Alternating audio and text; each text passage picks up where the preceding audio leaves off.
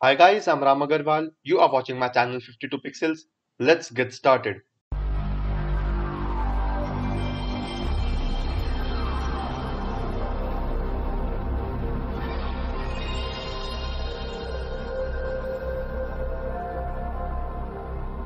So as you can see, this is the image that we are going to work with today.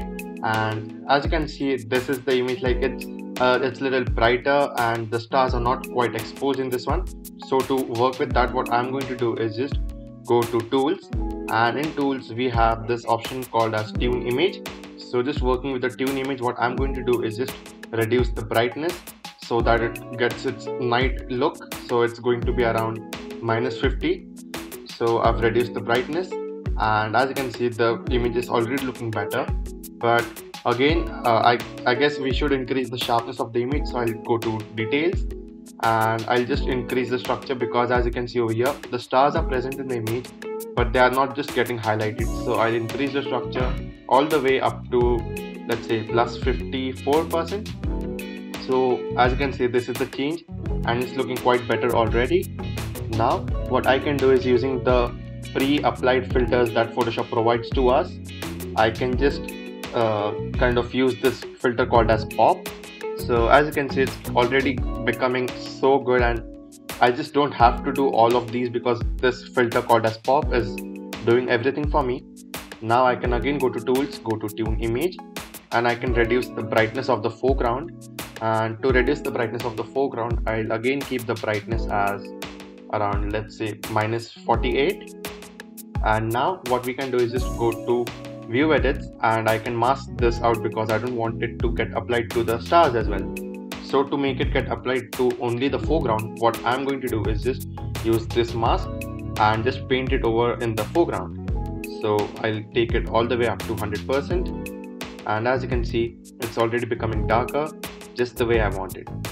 But it has been applied a little extra on the stars so I don't want to do that. I'll remove that effect and somewhere it's going to look like this. So once I just click on OK you are going to notice the difference. So this is the before and after.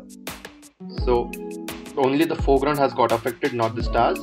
Now I can try to work on with the complete image. So for that I can start working with let's say saturation. But if I increase the saturation it's not looking that good. So let's leave that saturation part. We will work with saturation in Adobe Lightroom let's go to structure. Structure should be increased but not now. So again I'll just cancel this effect I guess. I'll have to cancel this. Or I'll just keep the structure as plus 2 that won't affect my image much. Now go to tune image and I'll just work with ambience. Or let's say highlights. So highlights I'm going to increase all the way up to 17 and shadows I'm going to reduce to minus 16 so that the stars get highlighted and the shadows become like the image overall becomes darker. So it has got the characteristic of the night that is darker colors and brighter stars. Now I can just go to curves. So currently it's working on soft contrast. Yours might be looking like this neutral. And as you can see we have all these options for curves. But we are going to use soft curve or soft contrast curve. And I can just click on OK. So it's looking dark. And it's looking actually good but it's like looking very dark which I don't want so I can just undo this one. And now what we can do is just I, I just want to work with the temperature.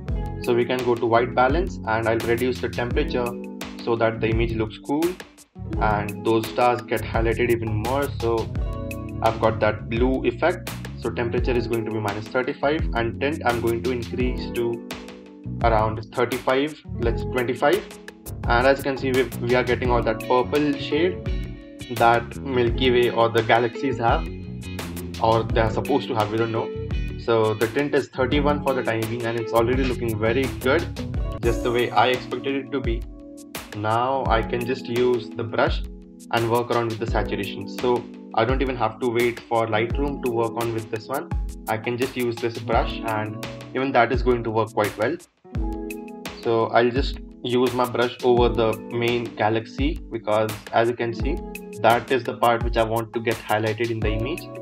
And I'll just brush over and over again to the bottom part which has that purple tint. It's because I want to make it highlighted and I want to enhance the color of that.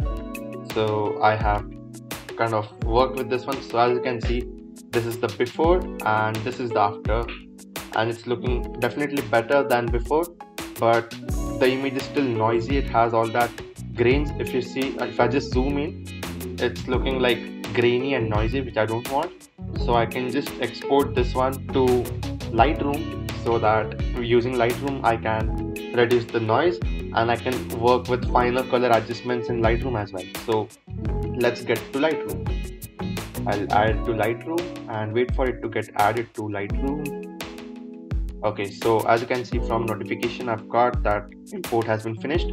We can just straight and move into Lightroom and in Lightroom this is my image.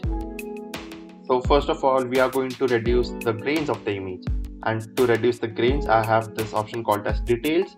Go to details and under details just slide the noise reduction slider to let's say 39 40 percent so that the effect doesn't look that bad. And we can just compare before and after. So as you might have noticed before was quite grainy and after is a little less grainy. So same way with color noise reduction. I'll take it to 22 and this is the before and after.